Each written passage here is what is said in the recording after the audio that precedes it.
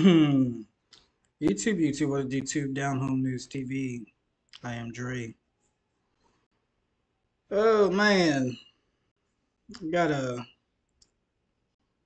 sad story coming from Michigan State. The article's from AP News. Title of the article is Michigan State Football's Armorion Smith is raising five siblings since his mother's death.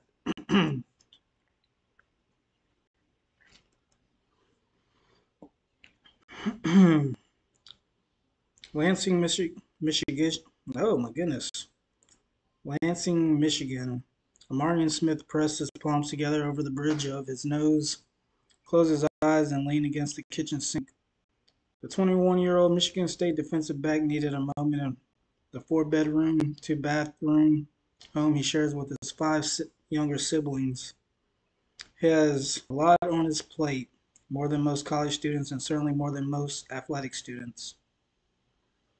His mother, Gala Gilliam, died of breast cancer a month ago, and without a father in the family's life, Smith has become the head of the household while studying criminal justice and playing major college football.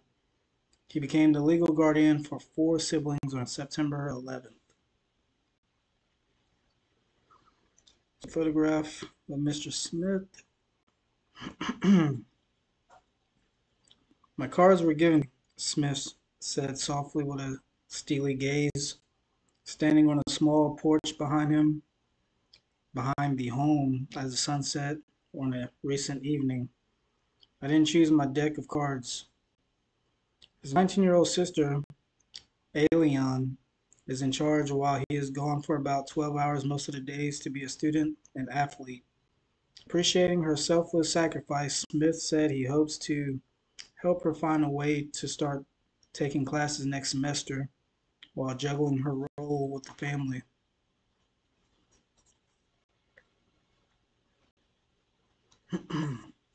Smith looks and sounds determined to help his siblings be happy, healthy, and safe.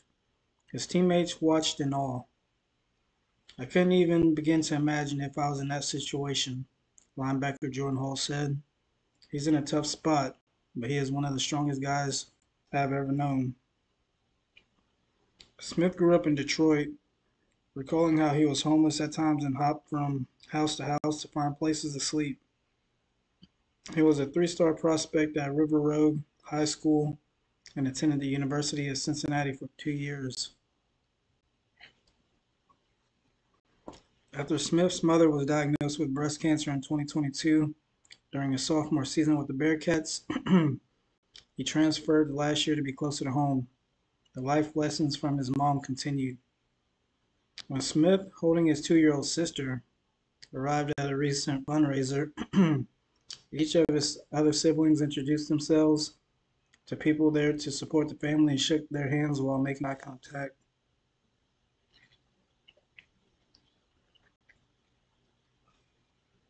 That's from my mom, he said. She was trying to prepare him for the for what was to come before she died August 19th. She was 41. Photograph of his mother.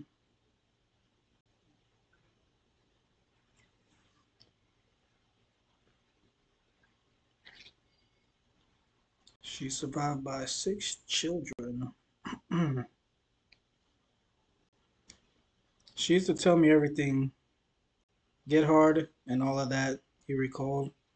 And I see why. She was under a lot of stress. Smith keeps notes on his phone to help him manage busy days to start before dawn.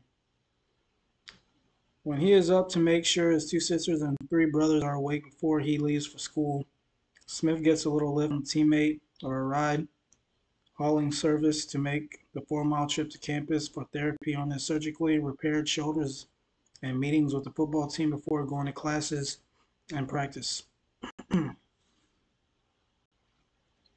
His elder sister gets their 16 and 15 year old brothers, Armad and Avagon, and 11 year old sister Ariel ready for school. There are two varieties of Cap'n Crunch atop of the refrigerator in the kitchen that didn't have a table or chairs during a recent visit. The school age brothers rely on ride hauling company to get them to school and back, while their oldest sister cares for the toddler sister, Amiria. Me and my sister got to go, excuse me, me and my sister got to work together to keep this all afloat, he said. While I'm picking, while I'm in college sports, she's got to be able to take care of everything that I can do, like pick up where I left off while I'm taking care of business. He and his siblings, he is now responsible for at least have a home thanks in part to a GoFundMe campaign. Student caregivers. While Smith's story is unusual in college sports, the NCAA does not track the number of athletes whose day-to-day activities include caring for a dependent. A 2020, a 2020 study for the National Center of Education Statistics found 19.5% of undergraduate college students had a dependent and 5.5% of them were responsible for non-child dependents. Other research shows student caregivers are dis- disproportionately from historically marginalized racial and ethnic groups. Ray Ray McElrath Bay, McElrath Bay was a 19-year-old freshman in, at Clemson in 2006 when he took over custody of his 10-year-old brother because his mother's drug problems and his father's gambling addiction.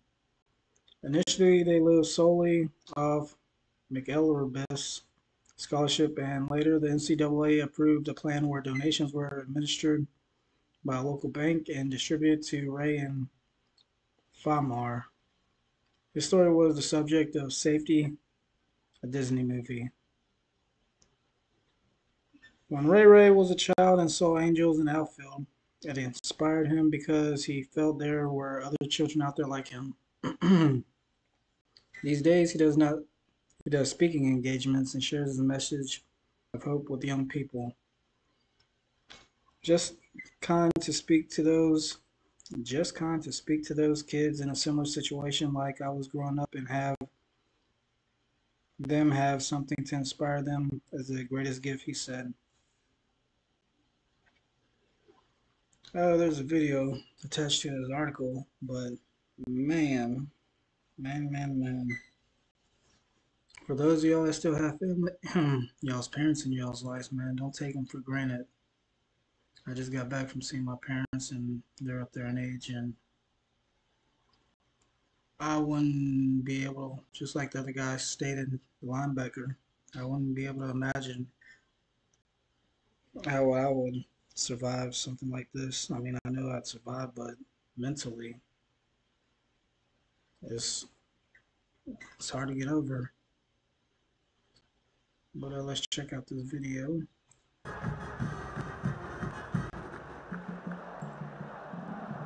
This is Armorion Smith's home on fall Saturdays. This is his home the rest of the time. The 21 year old Michigan State defensive back shares this with 70,000 rabid fans. Here, he's in charge of his younger brothers and sisters. I get to come in here and see my siblings and stuff every day, you know what I'm saying? So it just put a smile on my face to see them happy. Smith has a lot on his plate, more than most college students, and certainly more than most student athletes. His mother died a month ago after battling breast cancer. And without a father in the family's life, Smith has become head of the household while studying criminal justice and playing major college football. My cards were given given to me. I didn't choose my deck of cards. But Smith has help. His 19-year-old sister minds things while he's gone for about 12 hours most days. So me and my sister got to work together, you know what I'm saying, to keep this all afloat. They live in a four-bedroom, two-bathroom house in the state's capital city thanks to waves of financial support.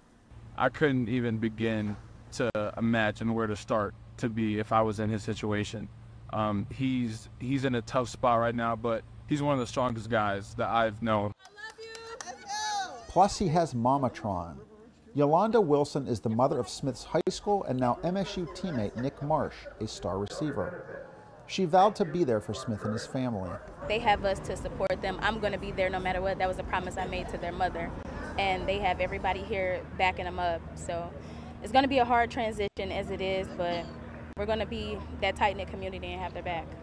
Smith says his sadness comes and goes, but he knows his mother would want him to carry on. I could feel her living through me, you know what I'm saying? Like, I don't know, it's like I hear her voice telling me how proud she is, like, like how proud she is of me.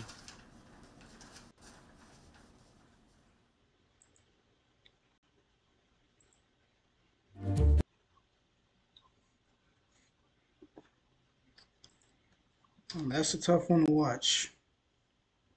That's a tough one to watch. I'm not trying to throw salt in the wind, but I'm blessed to still have my parents around and give me guidance and pray for the best for Smith, man. I'm not sure if he wants to go into the league, but if that's what he wants, I pray everything works out for him and he could put his family in a better situation. I mean, I know money doesn't solve your issues, but and it doesn't solve him losing his mother, but it'll put him in a better spot physically and possibly mentally just having everything they need. I know the article stated that he grew up jumping from house to house and I think he's gonna make some something good of himself, man. Him and his his sisters and brothers. Typically, it's those that go through the toughest challenges end up succeeding in life. And man, it's a sad story, but my prayers go out to his family, and I wish you the best, man. Down Home News TV, I'm Dre. Yeah, have a good one.